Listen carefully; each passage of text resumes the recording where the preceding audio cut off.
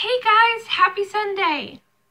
I hope you've had some time with your families to pray together and to worship with one another. And now we have to our, our special time as a children's ministry together. Today we're going to be in our God and Family series, and we're going to be heading out to the very end. We've been talking about how pizza can help us think about God and our families and now we're at the end. We're going to do this in two videos like we've been doing before. And this is called Eat, Share, and Enjoy. So we've spent all this time making our pizzas, talking about putting them in the oven and cooking them. And now we're at the part that everyone likes best about pizza, and that's actually having our pizza. And there's a lot of things that are kind of fun about pizza. But before I get into that, me give you a heads up of what you probably want to have with you. So like always, it's best to have our Bible. And then if you've been working in a notebook, writing down the stuff that we've been talking about with our little questions, pull that out. So something to write with is good. And then for our activity, have some kind of paper. It could be paper in your notebook that you can just rip out or other paper and some scissors and a bag of some sort. So I have, um, I'm borrowing, this is my daughter's little bag. I'm borrowing that today. So today we're talking about the best part about pizza, and that's eating it and sharing it and enjoying it.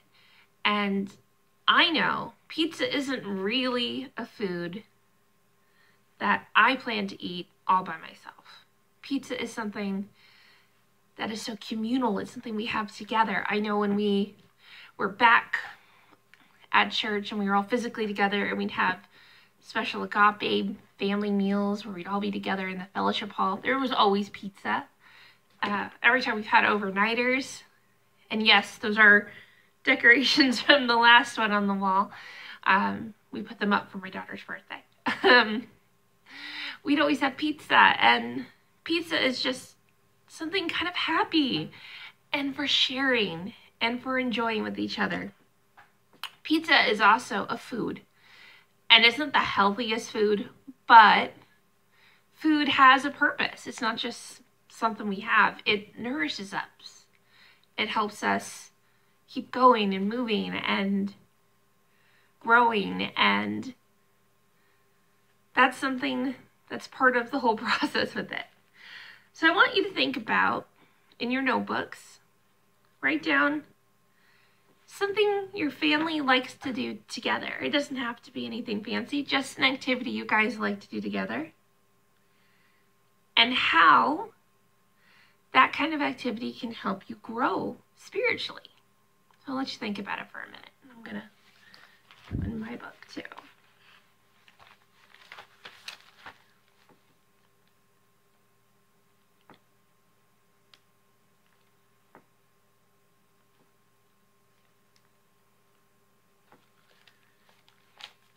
Did you think of something?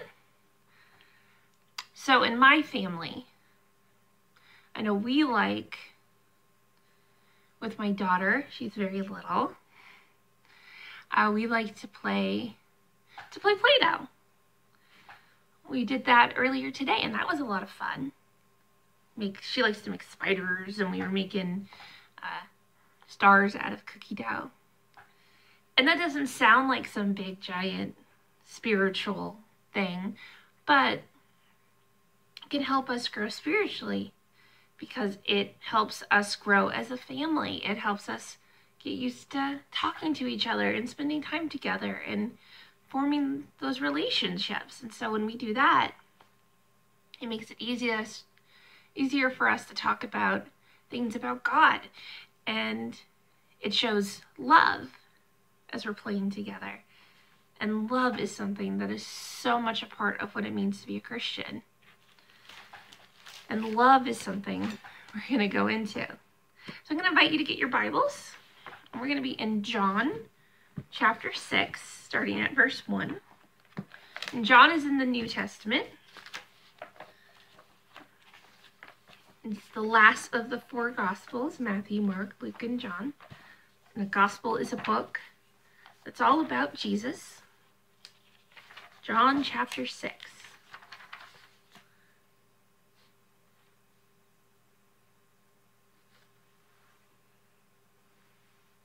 So the Bible tells us all about what it means to be a Christian. It means to follow him. And something that we do with pizza, we're always sharing it, is something that we see really strongly in this passage in John. So I'm going to start at verse 1 in chapter 6. Sometime after this, Jesus crossed to the far shore of the Sea of Galilee, that is, the Sea of Tiberias, and a great crowd of people followed him because they saw the signs he had performed by healing the sick. Then Jesus went up on a mountainside and sat down with the disciples. The Jewish Passover festival was near. When Jesus looked up and saw a great crowd coming towards him, he said to Philip, Where shall we buy bread for all these people to eat? He asked this only to test him, for he already had in mind what he was going to do. Philip answered him, It would take up more than half a year's wages to buy enough bread for each one to have a bite. Another of his disciples, Andrew, Simon's Peter's brother, spoke up. Here's a boy with five barley loaves and two fishes. But how far will they go among so many? Jesus said, Have the people sit down. There was plenty of grass in that place, and they sat down. About 5,000 men were there. Jesus then took the loaves, gave thanks, and distributed to those who were seated, as much as they wanted. He did the same with the fish. When they had all had enough to eat, he said to the disciples, Gather the pieces that are left over. Let nothing be wasted.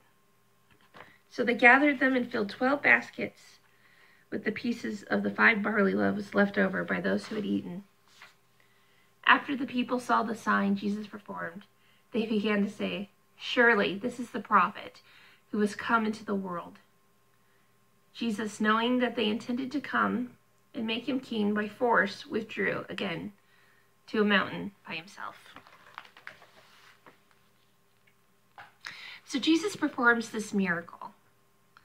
And the crowd is is massively affected. I mean,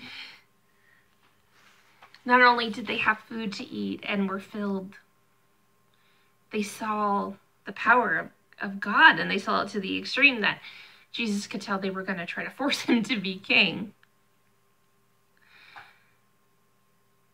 And can you imagine what it was like for that boy? I mean, we don't know a lot about this boy. But we know he has this lunch, and it's been brought forth to Jesus. Can you imagine him talking to his parents and his family after? All this is done. Maybe he went by himself. Maybe he's with his mom or his brother or something like that. But the conversation after this has happened Mom, I had just this little lunch. And it did so much for the world. It's so much for all these people. There are 5,000 men, plus women, plus children. And it was eaten and eaten, and Jesus took what I had what seemed small and little and made this giant impact.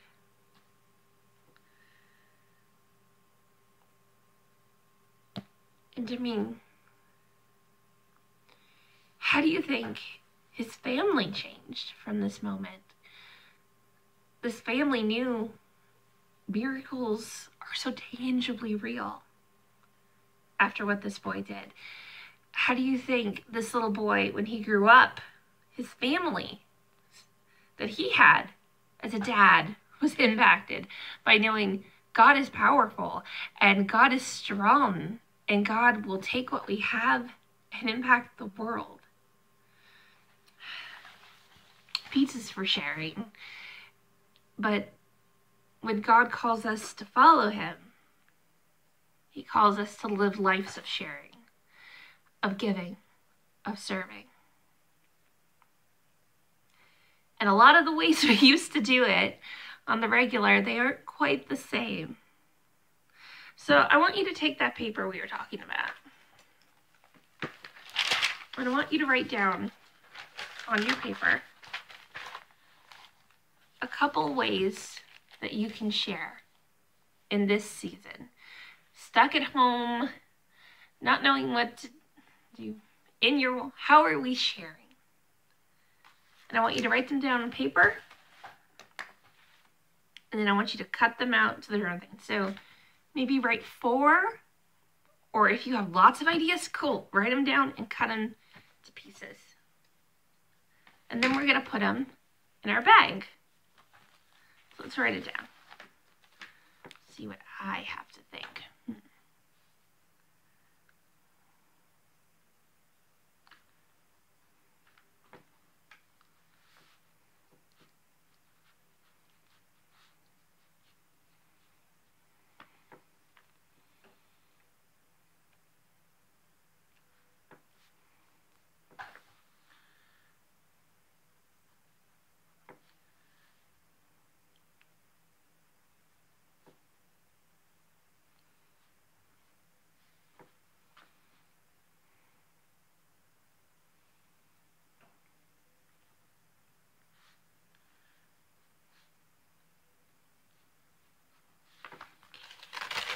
So I'm going to start cutting mine out because I wrote down my four. You guys write down your four?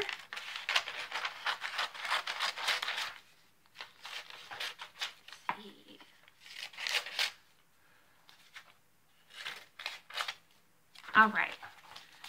So my four, I'm going to put in my bag, are, I can can share by sharing my time, by giving them my time. And it's a little different than how I used to, but I can call people. So that's what I wrote on this one. I can call people and spend my time talking to people and making them feel loved and special. And kind of in the same way, this one I wrote is, is pray for others. So I can share my love and my care for others by praying for them. Put it in my bag. I put uh, donate money. I'm a grown up with some money, so I can give money to the church. I can give money to other groups that can be helpful. And uh, this one's kind of specific to me, but give baby things away. So I have a lot of things that were my daughter's and some things that were brand new. And I know lots of people that are going to have babies in the near future. Lots of people. It's going to be very exciting because maybe when we're finally allowed outside, I can see a bunch of cute babies. Um, so I can share some of those things. I want you to kind of hold on to your bag and think of it like a bag, a lunch bag that you bring your lunch in. That that boy brought his lunch. And you know, none of the things I wrote here were very giant or would feel like they're earth-shattering crazy. But that boy only had a lunch. And God did amazing things with this small lunch, helping people, showing five to 10,000 people, who knows how many men and women were there, how much Jesus was valued, and to their families, and to everyone after that. So, I might want to challenge you guys to give in another way. Maybe take a grocery bag that you do have at home and fill it with food. Maybe the next time you're you're shopping, you might, you know, your family might be shopping online and having delivered. My family does that a lot now. Where your family's going out to the store. Pick a few things to give away. And find a group of people to give them to that can help people that are in a worse situation than you are. Uh, our church has on many occasions partnered up with Heart of Compassion, and Heart of Compassion is just down the street from our church. Um, they might also just take cash donations. too. So I'm going to put um, a little bit of information about them in the description of this video if you want to give to Heart of Compassion. And uh, if you happen to come across this video and you don't live in Montebello or you're not near us, um, encourage you to look up places near you that you can serve. Or if you happen to know somebody who could use just a little extra help with food, or maybe there's someone with a baby who could use help with diapers or other things like that. So we can help serve others in special ways. So, guys, if you are working towards our medal program with these videos, make sure you let me know that you're working on it and do one of the following things. Plan a pizza party with your family to celebrate all that we've been learning through this program. Or to share with your family something you learned from this week or any of the other weeks that we've been doing this program. And third, send this video to a friend send it out to a kid or even a grown up. Send it to someone so they can hear a little bit more about how the little things we do for God, and the little ways we share, God can take and do big and amazing things with. Also, don't forget, in order to earn the medal, you have to learn the Ten Commandments. And I'll put a link to that song again in, in the description that can help you pick it up. So just let me know once you've done the activity. And let me know uh, once you've learned the Ten Commandments, so I can put that towards your medal count if you're working for that. All right, guys. I'm so glad we had to have, uh, we got to have this time together, and I can't wait until it's safe again for us to physically be together. I miss you. And uh, again, if there's any of you that happen to come across this video that aren't a part of Park Avenue Christian Church in Montebello, California, I'm so happy that you watched this video and I hope you come check out some of the other things we're doing on the video. And if you are local to the church, come check us out when our doors are physically open again. All right, so before we go, I'd like to pray for you guys. Let's pray. Dear Heavenly Father, I thank you for my friends. I thank you that you take what we have, and even though it could feel small and it could look like nothing compared to the big crowd that needs the food and the vastness of what's happening in the world or just in our lives that you take the things that we share and you multiply them and you make them grow and you make miracles help us to remember that you can use us no matter how young we are no matter how much money we have no matter what we're at, that you can use us to do great things. For this in Jesus' name, amen. So thank you guys, and I will see you uh, again on this platform next Sunday.